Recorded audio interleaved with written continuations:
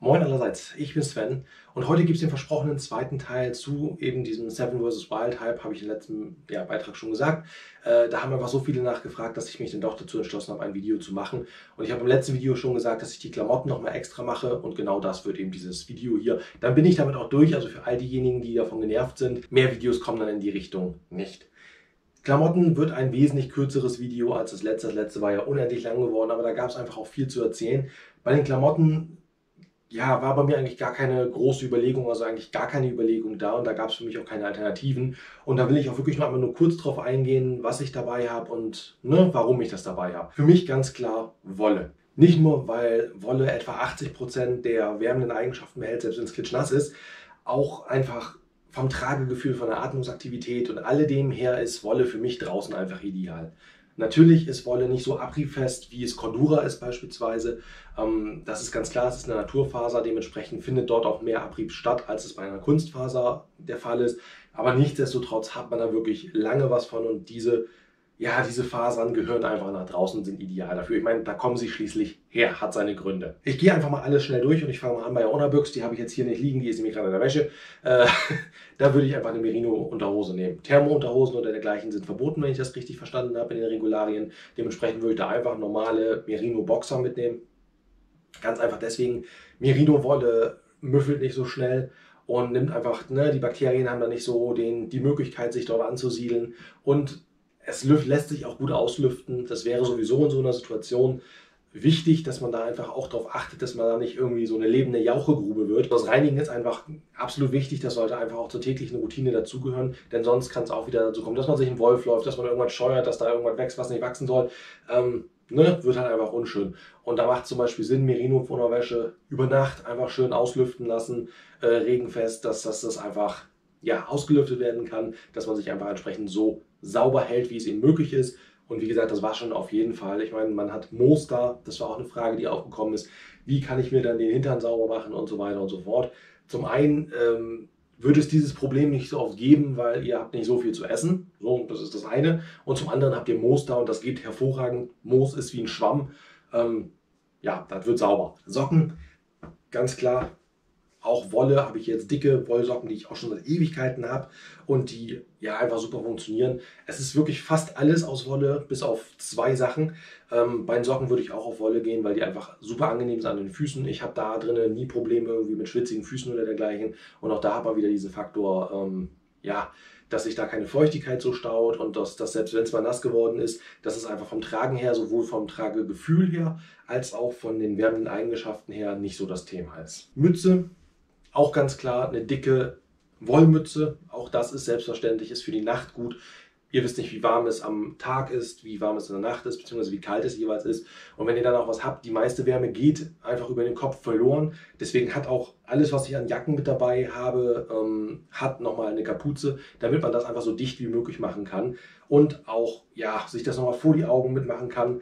Leider ist, soweit ich weiß, ein Buff ähm, nicht mit in den erlaubten Sachen drin soweit ich das mitbekommen habe, also ich hatte mitbekommen, einmal eben äh, ja, eine erste Schicht, sprich ein Shirt, Longsleeve oder was in der Richtung, eine wärmende Jacke, dann eine Außenhautjacke, eine Hose, Socken, Handschuhe, Mütze und Gürtel. Das waren jetzt die Sachen, die ich da mitbekommen hatte. Wenn auch irgendwas anderes erlaubt ist, dann ergänzt das gerne, aber hiermit fahre ich schon ganz gut. Das Einzige, was mir hier tatsächlich fehlen würde, das wäre ein gutes Merino Buff. Das würde ich ansonsten noch mit einpacken. Ansonsten, wie gesagt, dicke Socken, dicke Wollenmütze. Als Handschuhe habe ich hier die Mechanics.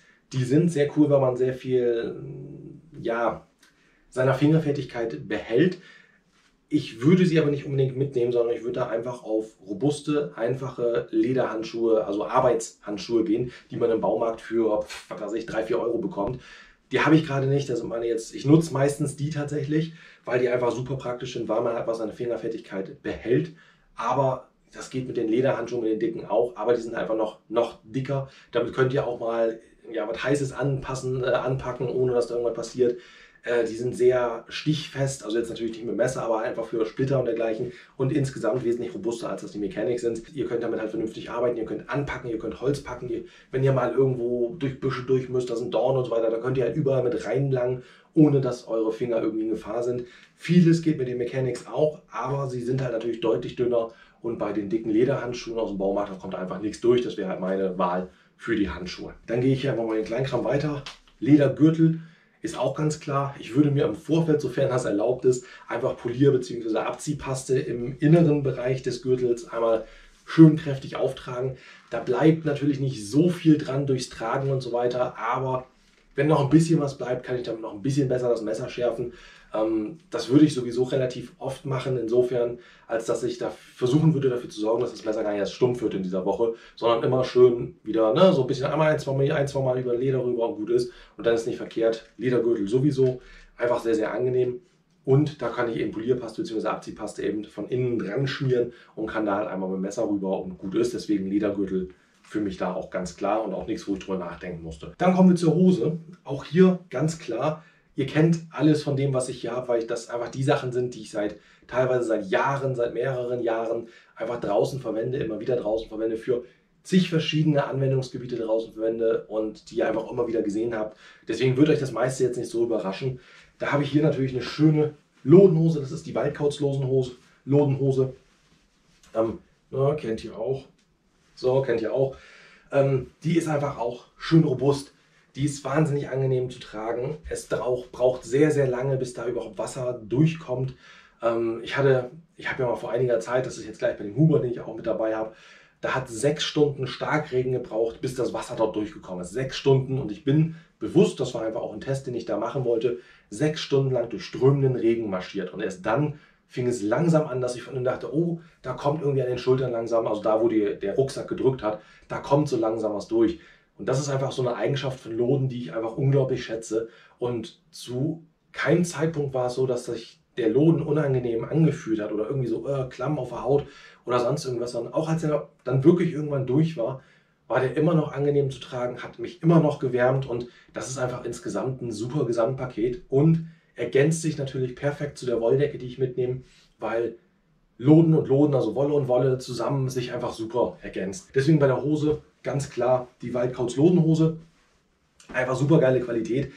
Habe ich jetzt auch schon, müsste ich nachgucken, wie lange, drei Jahre, vier Jahre, irgendwas in dem Dreh, habe ich ständig an. Also wirklich so, außer im Sommer habe ich die Hose immer in Verwendung und die ist noch immer tipptopp. Also ja, absolut. Und das Ding ist vor allem auch, wenn es dann unerwartet warm werden sollte, das ja auch eine Gefahr sein könnte. Gerade jetzt bei heutigem Wetter ist das ja durchaus immer mal möglich, dass es ja ganz anders wird als erwartet. Bei Loden hat man einfach die mit Abstand beste Atmungsaktivität und den besten Temperaturausgleich und das beste Klima. Wenn es dann mal richtig brachial warm werden sollte, klar könnt ihr die Sachen sowieso ausziehen und könnt ihr in Unabüchs durch die Gegend laufen, wenn es so warm sein sollte. Aber wenn ihr euch schützen möchtet, wenn ihr vielleicht irgendwo marschieren müsst oder so und auch mal durch ne, irgendwas durch müsst und euch da die Beine nicht aufschrammen wollt und ihr wollt die Hose einfach schlicht anbehalten und nicht in eurer Merino Boxershorts da durch die Gegend laufen. Selbst wenn es mal zu warm ist für die Hose, eigentlich ist der Wärmeaustausch bei Loden so gut, dass man die auch anziehen kann, wenn es eigentlich für die Hose schon wieder zu warm ist.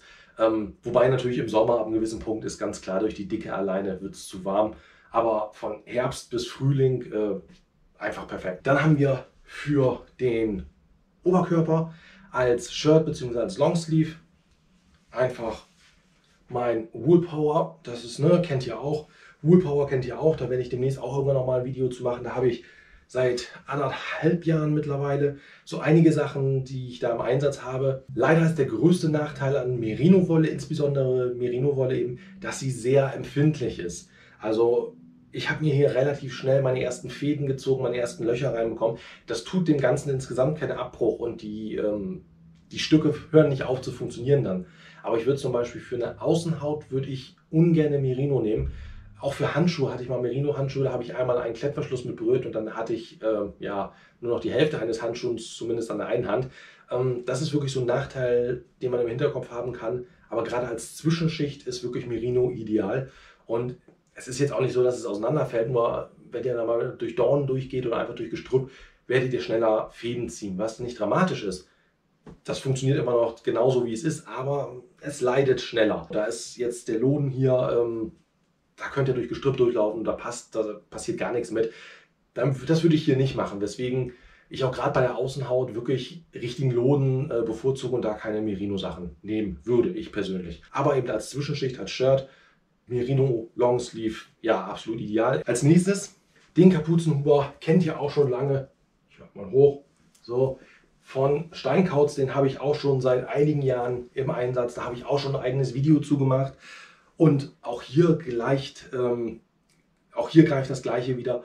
Es ist wieder Loden, es ist hervorragend verarbeiteter Loden. Es ist eine super wärmende Zwischenschicht. Also es ist wirklich, ja, das sind einfach bei den ganzen einzelnen Sachen, also jetzt gerade Hose und auch, auch Huber, das sind die Sachen, die sich seit zig Jahren bewährt haben, wo ich keinen Moment drüber nachdenken muss, ähm, was ich nehmen würde, weil ich weiß, wie gut die sind und das ist einfach, das ist das, wonach ich greife. Also ich bin ja sowieso ähm, Steinkauz, Waldkauz, klamottentechnisch eigentlich fast, fast nur, weil die Sachen für mich einfach funktionieren. Die sind hervorragend von der, von der Qualität her. Und ja, so sind das für mich auch die erste Wahl, ähm, was ich da an Sachen mitnehmen würde, weil ich mich einfach drauf verlassen kann. Wie gesagt, den Kapuzenhuber, da hatte ich äh, sechs Stunden Dauermarsch durch Regen, habe ich eben erzählt. Und erst dann kam so langsam was durch. Also da hat man einfach ähm, guten, guten Schutz. Aber um diesen ganzen Schutz nochmal zu maximieren, habe ich hier, die habt ihr jetzt noch nicht so oft gesehen, die habe ich jetzt auch erst seit einem halben Jahr etwa. Das ist der Regensegen, ebenfalls Steinkauz. No. So, so. No. Das ist ein, ein, ein Panzer als Regenjacke. Das, das Ding ist richtig, richtig cool. Da werde ich auch, äh, wenn ich ihn noch länger habe, werde ich auch noch mal ein Video zu machen. Das ist halt gewachsene Baumwolle. Und zwar nicht irgendwie dünne oder sonst irgendwas, sondern so richtig schön. Ich weiß jetzt nicht, wie viel, wie viel Unzen das war, äh, müsst ihr nachgucken. Aber richtig schwere und robuste Qualität. Damit könnt ihr durch eine Brombeerhecke durchrobben und das äh, ja, wird die Jacke überhaupt nicht kümmern. Da passiert gar nichts. Die ist regenfest. Also das ist auch einfach klar, gewachsene Baumwolle, super robust, super, super, super, super wasserabweisend, also Regen, wasserdicht ist sie nicht. Es ist halt eine Naturphase, das heißt, es könnte irgendwo mal ein Tröpfchen durchkommen. Habe ich bisher noch nicht erlebt. Habe ich bei zig Angelansitzen, auch wenn ich wirklich über zig Stunden teilweise die ganze Nacht am Wasser saß. Dementsprechend ist das für mich die Außenhaut für dieses Ganze. Denn ich habe nochmal einen zusätzlichen Regenschutz. Ich habe nochmal eine richtig robuste Außenhaut, wo noch weniger, also wo einfach gar nichts mehr passieren kann. Schon bei dem Kapuzenhuber ähm, würde ich, würde ich durch Gestrüpp laufen, ohne dass ich da ein schlechtes Gefühl hätte, dass mir irgendwas kaputt geht. Aber das hier ist einfach nach das ist einfach nochmal drei Stufen drüber, was die Robustheit angeht, einfach auch durch dieses kräftige Material. Es ist super, super windabweisend. Das heißt, ich habe dann auch nochmal eine zusätzliche äußere, äußere Schicht, die den Wind draußen lässt. Ich habe wieder eine Kapuze dran. Also ich kann es wirklich auch für die Nacht gerade. Das ist einfach auch das, was mir immer wichtig ist, dass ich dann alles so dicht wie möglich machen kann. Ich kann mir schön ne, die Mütze auf und roll die dann auch runter, dass die noch ein bisschen mit über die Augen geht.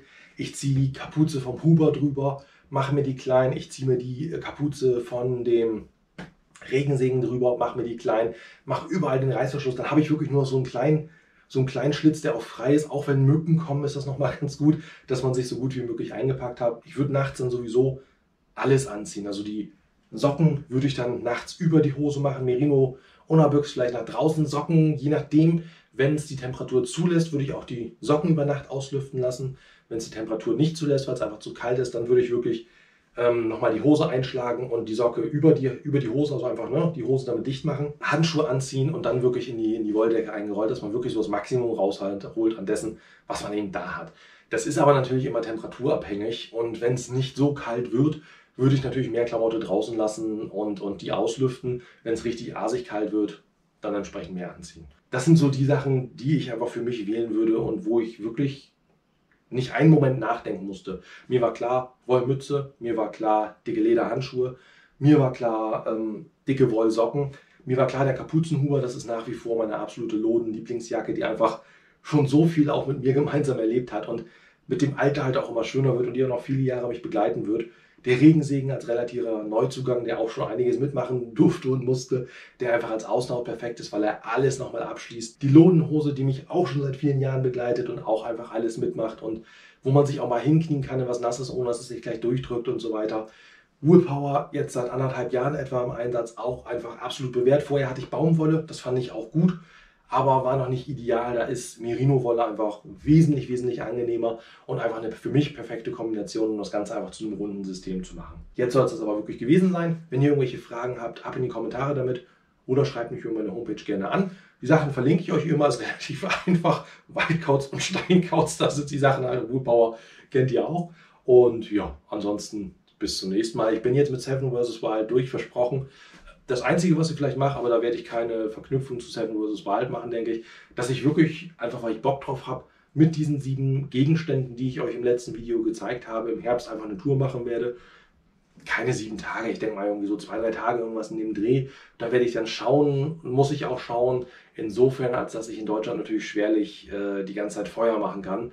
Deswegen muss ich mir da noch irgendwas überlegen. Kann also sein, dass er so ein bisschen variieren muss, aber das werdet ihr sehen, wenn es soweit ist. Schön, dass ihr dabei gewesen seid und bis zum nächsten Mal.